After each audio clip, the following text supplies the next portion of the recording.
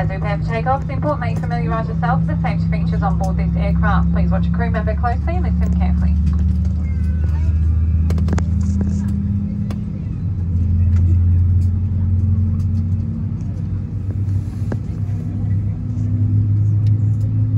Hello again. We want you to have a safe and enjoyable flight.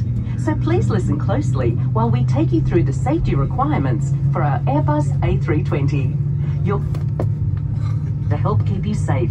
So make sure you listen to and follow their instructions. As we get underway, please make sure your personal electronic devices are in a flight safe mode or otherwise completely switched off. Your carry-on baggage and larger electronic devices should now be placed either under the seat in front of you or in an overhead locker. Check that your seat back is upright, your tray table is stowed away, your armrest is lowered, and your window shade is open. The seatbelt sign above you will be illuminated whenever you must have your seatbelt fastened. To fasten your seatbelt, clip the buckle and clasp, and pull on the loose strap to tighten. Undo the seatbelt by lifting the buckle flap. The seatbelt is most effective when worn low, tight, and throughout the entire flight. Make sure you're familiar with the brace position best suited to your seat. The onboard safety instruction card in your seat pocket shows pictures of your brace position, along with other important safety information. The A320 has eight emergency exits, which we'll now show you. Two at the front, four over the wing, and two at the back of the cabin. Lights will illuminate, showing you the path to follow to these exits.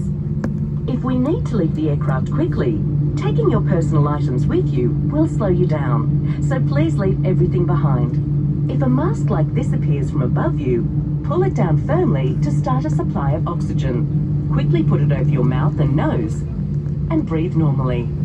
Keep the mask in place by fitting and tightening the strap, and then help others around you. There is a life jacket located in a pouch under your seat.